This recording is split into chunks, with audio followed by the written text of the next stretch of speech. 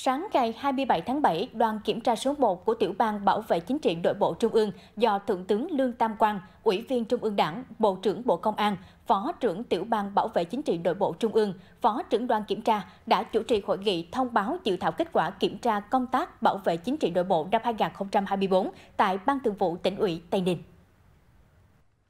Làm việc với đoàn về phía tỉnh Tây Ninh có đồng chí Nguyễn Thành Tâm, Ủy viên Trung ương Đảng, Bí thư tỉnh ủy, Chủ tịch Hội đồng nhân dân tỉnh, các đồng chí trong Thường trực tỉnh ủy, Ủy viên Ban Thường vụ tỉnh ủy Tây Ninh và đại diện lãnh đạo các cấp ủy tổ chức đảng được kiểm tra. Phát biểu tại hội nghị, Thượng tướng Lương Tam Quang đánh giá, từ đầu nhiệm kỳ đến nay, Ban Thường vụ tỉnh ủy Tây Ninh đã bám sát các quan điểm, nguyên tắc của Đảng, tổ chức lãnh đạo chỉ đạo quán triệt và thực hiện nghiêm túc kịp thời các chỉ thị, kết luận, quy định của Trung ương về công tác bảo vệ chính trị nội bộ, tình hình chính trị nội bộ trong đảng bộ tỉnh ổn định, an ninh chính trị, trật tự an toàn xã hội trên địa bàn được bảo đảm, triển khai thực hiện có hiệu quả các phương án kế hoạch bảo đảm an toàn các sự kiện chính trị, kinh tế, văn hóa xã hội ở địa phương. Bên cạnh đó, đồng chí Phó trưởng đoàn kiểm tra đã nêu ra một số lưu ý hạn chế và yêu cầu Ban thường vụ có các giải pháp khắc phục nhằm tiếp tục thực hiện có hiệu quả công tác bảo vệ chính trị nội bộ thời gian tới, gắn với đặc điểm địa bàn tỉnh Tây Ninh. Thay mặt Ban thường vụ tỉnh ủy Tây Ninh,